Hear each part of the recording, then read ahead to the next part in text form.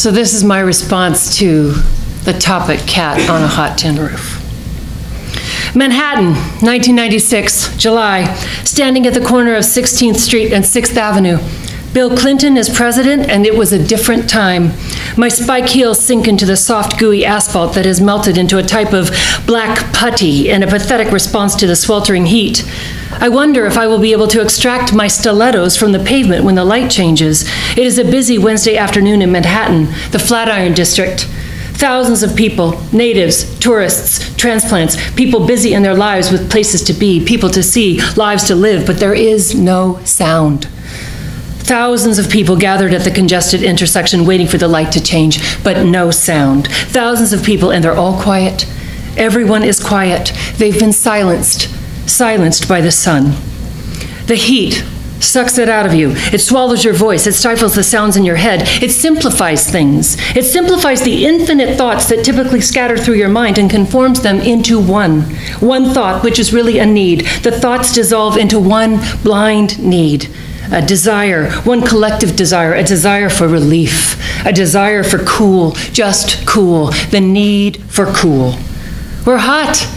That's the problem. We're all hot. It's July, July in Manhattan, and everyone is hot and sticky. We're all sticky. We drip and then stick. Tears of sweat dribble down cheeks, arms, legs, stomachs, backs. Those wearing clothes show the heat through the wet spots on their garments. Those stripped down to lesser coverage glisten with the wet. Everyone is uncomfortable. But there's an underlying sense that the discomfort somehow unites us. We at the corner form a collective consciousness of sorts and we comfort each other. We're all in this together. Egos get quiet. We all look like shit with our damp hair and sweat stains and runny makeup. There is no finer leveler of the vain than a sweltering, humid afternoon on the streets of Manhattan. It connects us.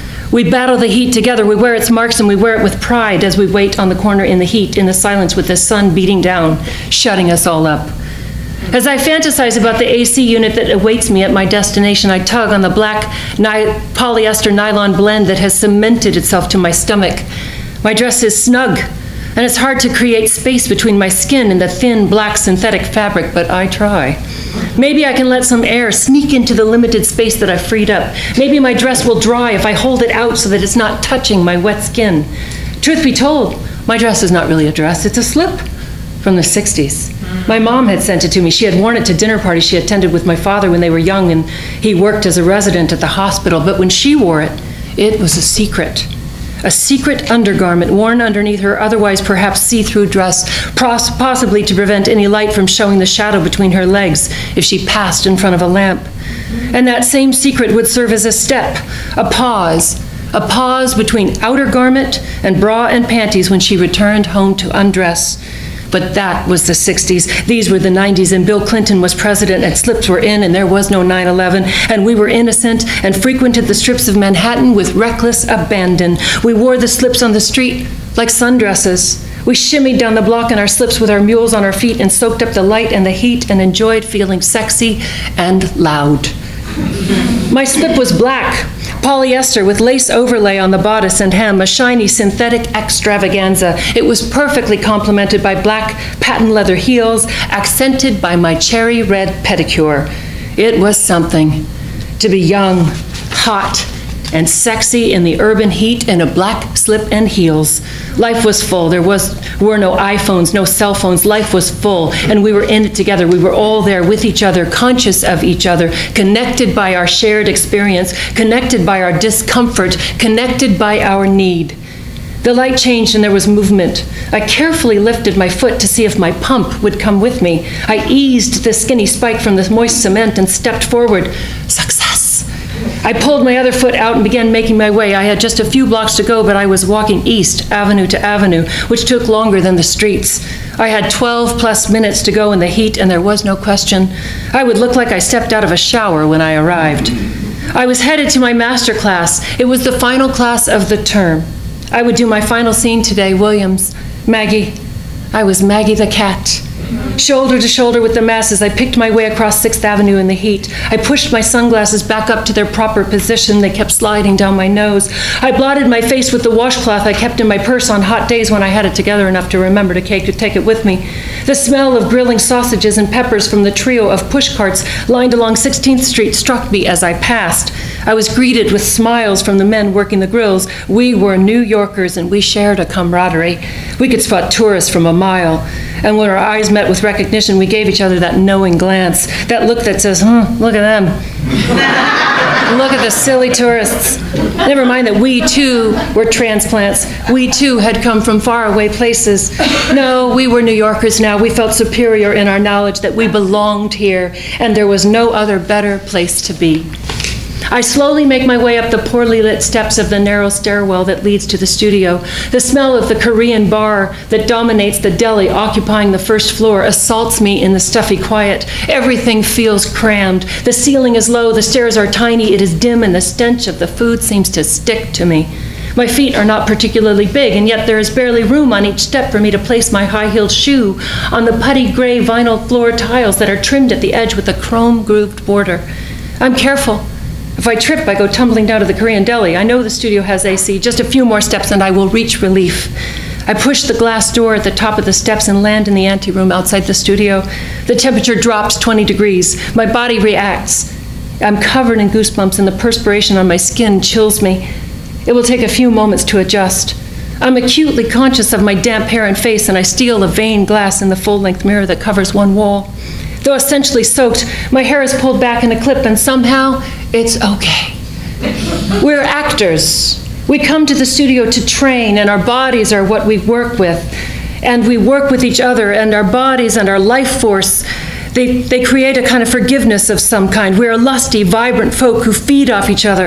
And while hopelessly drawn to a world that demands we obsess over what we look like, we are strangely unmasked in the classroom, naked with our sweat and our flaws.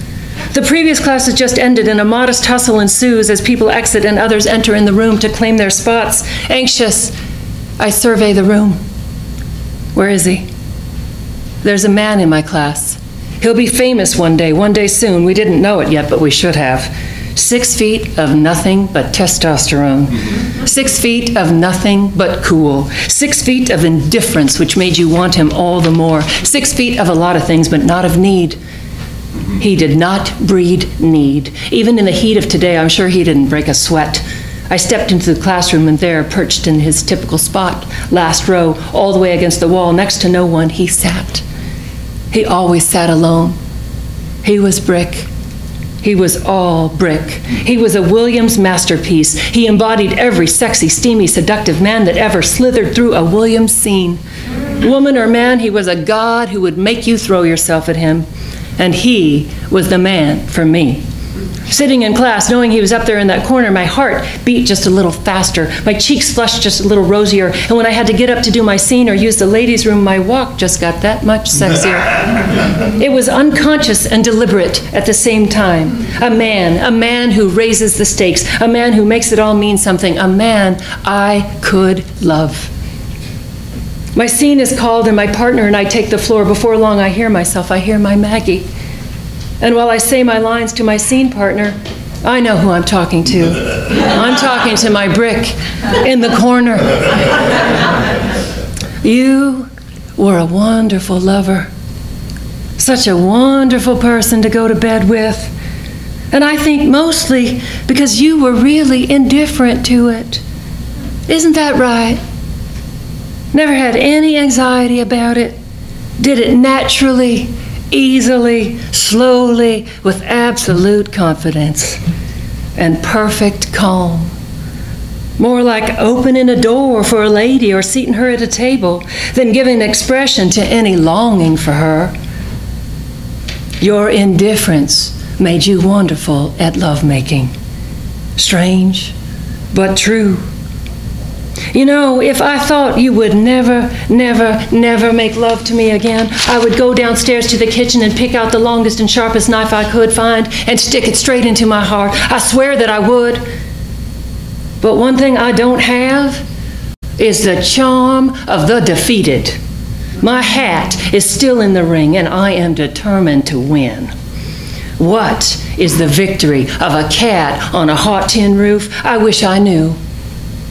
Just staying on it, I guess, as long as she can. And I stop. I'm on that roof, just like her, just like Maggie. I wonder how long I can stay on it. I marvel at the symbiotic nature of love and indifference. I marvel at Williams' genius as I lust after the man in the corner, my brick who doesn't know I exist. I'm hot. I'm sexy. I'm in my prime. I live in New York and men follow me down the street. But not my brick. He doesn't follow me anywhere. He sits in the corner waiting to be a star. And I am invisible.